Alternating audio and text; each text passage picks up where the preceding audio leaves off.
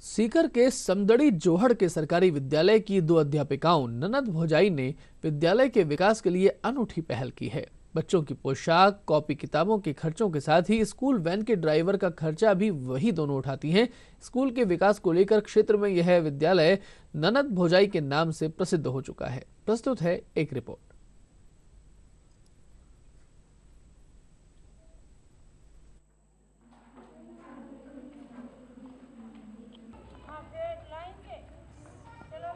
कि प्राइवेट की टक्कर हम ले सकते हैं।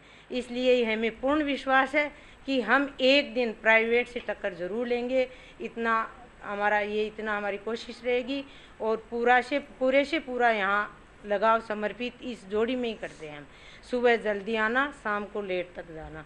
भाई जैसे साढ़े सात का टाइम है तो सात, दस पहुँच जाते हैं।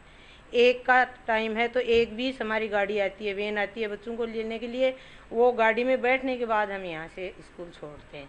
तो इस ऐसी भावना को देखकर गार्जियंस भी संतुष्ट हैं और इनमें भामाशा हैं, वो गेट है, पंखे हैं इन्वेटर है, ये सारी चीज़ इन रानियों वालों की है।